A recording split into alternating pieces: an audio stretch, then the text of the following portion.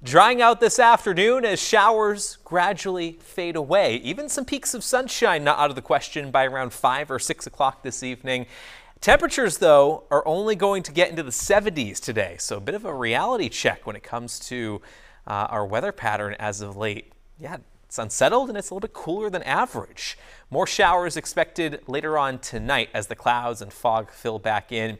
We may wake up to some wet weather in parts of the state. By the way, a high surf advisory continues along the coastline through tomorrow evening.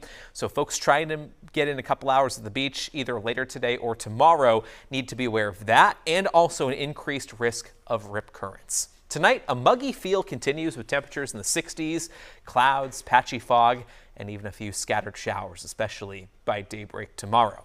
You may need the wet weather gear handy for the ride into work on Monday. More often on showers likely continue into the early afternoon. There may be some dry hours later Monday afternoon, but then another round of some showers and thunderstorms will move through.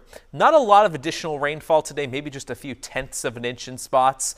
And then we're looking at a better shot at a half inch to an inch of rainfall, especially underneath some downpours and thunderstorms later Monday and into very early on Tuesday morning. Speaking of Tuesday, that's when things start to dry out and the humidity levels will begin to drop off.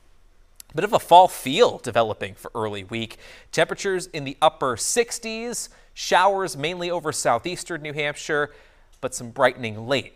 More clouds than sun on Wednesday, but then a brighter stretch of weather building in for Thursday and Friday as temperatures start to warm back up again.